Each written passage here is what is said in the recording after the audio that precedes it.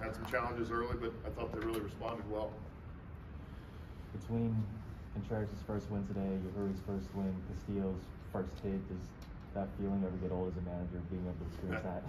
No, it doesn't. That's what I just told him. Um, you know, when you have a lot of young players that come to the big leagues, you have a lot of firsts and check off boxes. And you know, for us to continue to grow and develop, we have to check off boxes. But for Rowe to do that and the way he did it today was uh, pretty cool for him.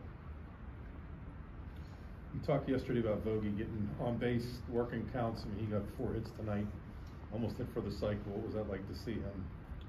Well, it would have been magical if he would have hit for the cycle because he would have gotten a triple and that would have been fun to watch. I'm telling you that. Uh, but yeah, I mean, good at bats, consistent at bats, and uh, hit the ball hard. You know, I, you know, anytime you get a home run to, to lead off the game, but after we go up three in the first, to kind of respond right back. But uh, he had good swings.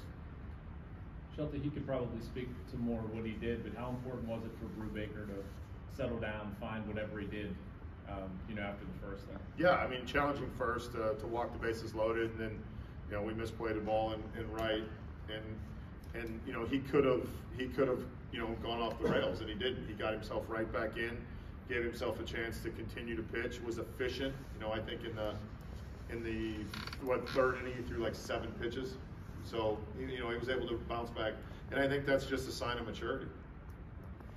With the, with Ronzo, we talked about in his first outing the ability to be consistent, specifically with that breaking pitch. Was that the biggest difference that you saw today in terms of what went well tonight versus what maybe not went well in singles? Yeah, I mean execution. I mean to get their two, three, four out. That's you know that's a pretty big task. We're talking about you know some of the best hitters in the game, and you know and, and the play made on the Soto balls, old school shortstop play. That was a hell of a play.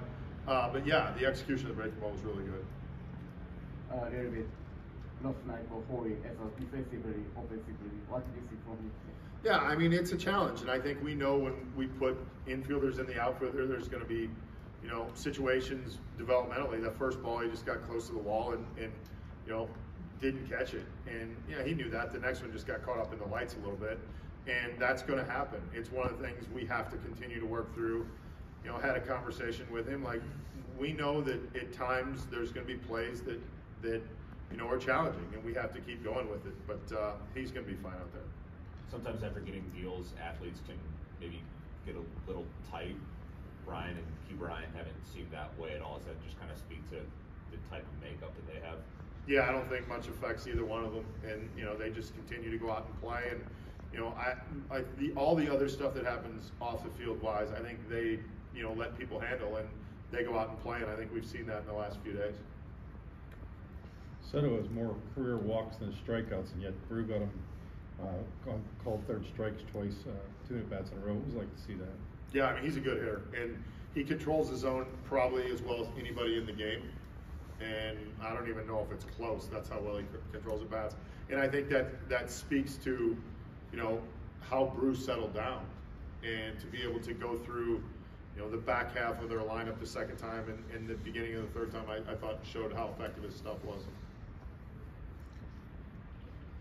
Okay. Thank you.